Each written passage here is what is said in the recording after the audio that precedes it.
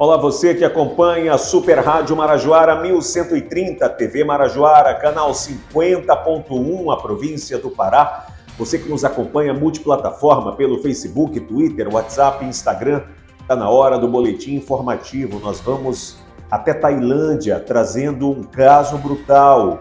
Anildo, carnavalesco, conhecido, querido, cabeleireiro, envolvido na sociedade de Tailândia, muito querido por muitos. Anildo foi até um bar, estava ali na companhia de amigos.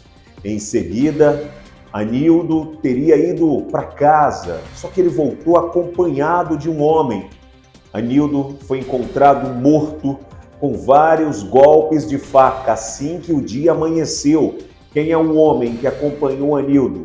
Esse que nós vamos mostrar agora na imagem no momento que ele chegava na delegacia, o principal suspeito de ter assassinado Anildo. Em seguida, a Polícia Judiciária Civil conversando, dando detalhes do caso, o que o delegado tem a dizer sobre a morte do carnavalesco. Veja só. O fato aconteceu na madrugada, assim que o crime se consumou, chegou ao nosso conhecimento.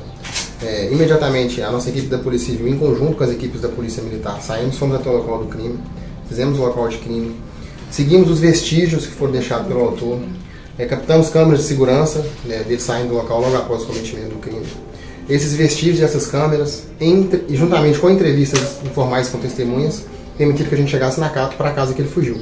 Assim que ele cometeu o crime, ele buscou a ajuda de familiares, haja visto que ele também estava machucado, ele também foi atingido por golpes de faca aí.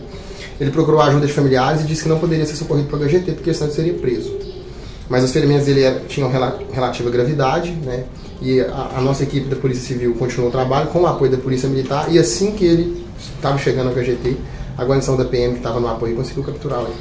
É, ele foi medicado, ele não negou, ele confessou o crime, ele apresentou uma versão preliminar, mas eu vou fazer um interrogatório dele daqui a pouco para poder pegar maiores detalhes e elementos de informação aí.